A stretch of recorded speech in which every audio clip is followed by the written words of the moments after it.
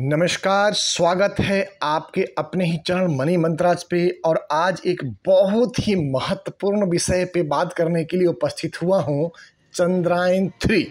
मैं समस्त देशवासियों को हार्दिक शुभकामनाएँ और बधाई देता हूँ कि आप सबके शुभ आशीर्वाद से हमारे वैज्ञानिकों ने विश्व में वो कारनामा कर दिखाया है जो विश्व की बड़ी बड़ी ताकतें मुँह देखते रह गई हैं। दोस्तों, हम बात कर रहे हैं चंद्रायन थ्री की सफलतापूर्वक चाँद पर लैंडिंग करने की। दोस्तों, विस्तार से मैं बताऊँगा इस कार्यक्रम को, आज के इस संदेश को, आज के इस वीडियो में कि इससे आखिर भारत को क्या फ़ायदा होगा, एक इंडियन इकोनॉमी को क्या बेनिफिट होगा, भारत के आम नागरिक, आम जन, आम व्यक्ति तक इसका फ़ायदा कैसे पहुंचेगा और कितना बड़ा मिशन है और इस मिशन को कामयाब होने में कितनी बड़ी तपस्या और कितनी बड़ी प्रतिज्ञा थी। मित्रों, आइए चर्चा की शुरुआत करते हैं। सबसे पहले मैं अपना परिचय दे दूँ। मेरा नाम नंद किशोर तिवारी है। मैं दिल्ली में रहता हूँ। मैं पिछले 24 साल से ज़्यादा समय से फाइनेंशियल मार्केट में काम कर रहा हूँ और लाखों परिवार को हाँ दोस्तों, लाखों परिवार को उनके निवेश, उनके इंश्योरेंस उनके इन्वेस्टमेंट उनके पोर्टफोलियो और उनके आगे उज्जवल भविष्य के लिए तैयार करता हूँ और उनको सलाह देता हूँ। आज बात करेंगे चंद्रयान थ्री की कामयाबी से भारत को क्या फ़ायदा होगा? कुछ ऐसे लोग अभी भी हमारे भारत में हैं, हिंदुस्तान में हैं या दुनिया में हैं, जिनको ये बात भी नहीं मालूम कि इससे बेनिफिट होने वाला क्या है। तो दोस्तों, आइए समझते हैं। स्पेस, दुनिया में स्पेस इकोनॉमी 400 बिलियन डॉलर की है। हाँ दोस्तों, स्पेस इकोनॉमी 400 बिलियन डॉलर की है। मौजूदा समय में यहाँ पर भारत का कंट्रीब्यूशन मात्र पाँच से सात प्रतिशत का है। साढ़े छः सौ करोड़ लागत पर तैयार हुए चंद्रायन तीन मिशन की सफलता विभिन्न क्षेत्रों में भारत के लिए नई राहें प्रशस्त करेगा। ये कामयाबी महज विज्ञान तकनीकी या दूसरों क्षेत्रों तक ही सीमित नहीं रहेगी, बल्कि आर्थिक तौर पर भी भारत को नए आयामों तक ले जाएगी। स्पेस दुनिया में स्पेस इकोनॉमी 400 बिलियन डॉलर की है। मौजूदा मौजूदा समय में यहाँ पर भारत का कंट्रीब्यूशन महज पाँच से सात प्रतिशत का है।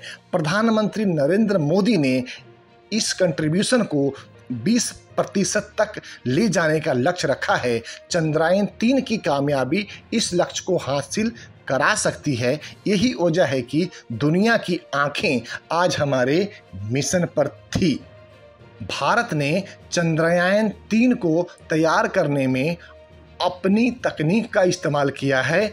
इसकी कामयाबी से दुनिया में भारत का डंका बच चुका है अभी स्पेस इकोनॉमी के क्षेत्र में भारत को अपना स्थान बनाना है। स्पेस इकोनॉमी में ज़्यादा देशों का हिस्सा नहीं है। ये तय है कि चंद्रयान थ्री की कामयाबी स्पेस इकोनॉमी में भारत के लिए एक बहुत बड़ा हिस्सेदारी का रास्ता खोल देगी। संभव है कि दुनिया की अनेक देश, अनेक अंतरिक्ष मिशन के लिए भारत से संपर्क करें। दक्षिणी ध्रुव पर सॉफ्ट लैंडिंग करने वाला भारत विश्व का पहला देश बन गया है। तो इसलिए आप सभी देशवासियों को, सभी वैज्ञानिकों को, सभी कार्यकर्ताओं को और सभी देश के आम जन को इस महान उत्सव की आपको ढेर सारी शुभकामनाएँ और बधाई। मित्रों स्पेस इकोनॉमी ही नहीं, बल्कि दूसरे क्षेत्र में भारत की तरक्की के रास्ते खुल जाएँगे। आज के बाद, आज का दिन आपके लिए चिर स्मरणीय है और आज का दिन आपके जीवन में स्वर्णिम अक्षरों में लिखा जाएगा।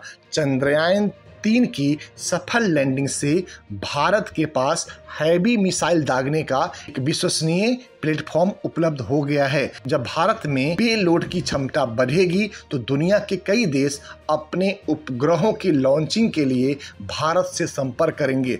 चंद्रयान तीन की सफलता से भारत पर डॉलर बरसने लगेगा। डॉलर की मारामारी हो जाएगी और डॉलर में भारत का इनकम बहुत तेज़ी से बढ़ेगा। कई बार ऐसी खबरें हमें विचलित करती है कि फला उल्का पिंड पृथ्वी से टकरा जाएगा।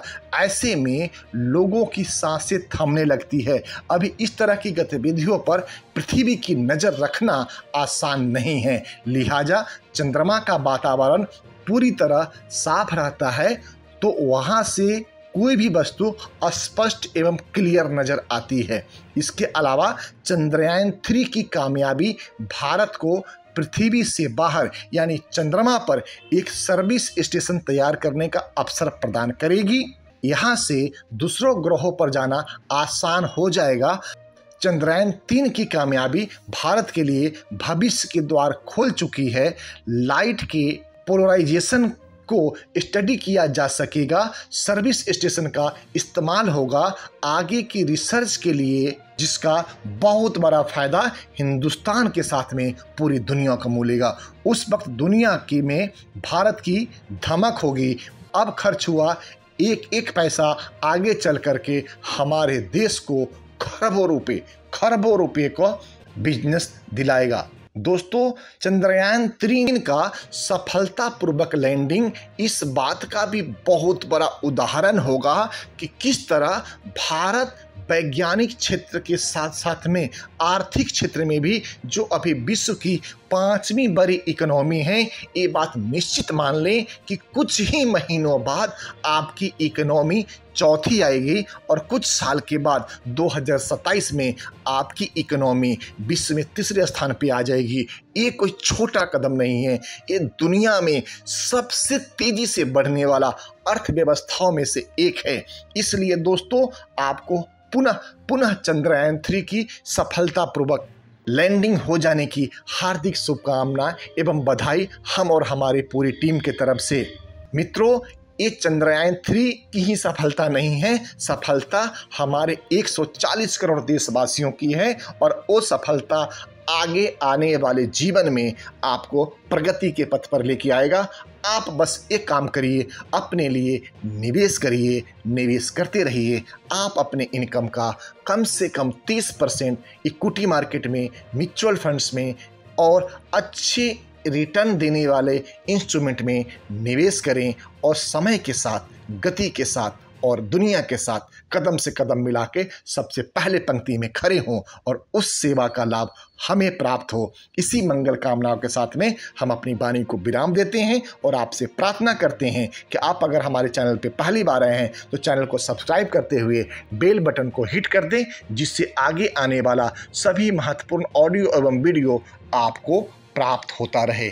दोस्तों, इसी के साथ आपसे आज्ञा, जय हिंद, भारत माता की जय।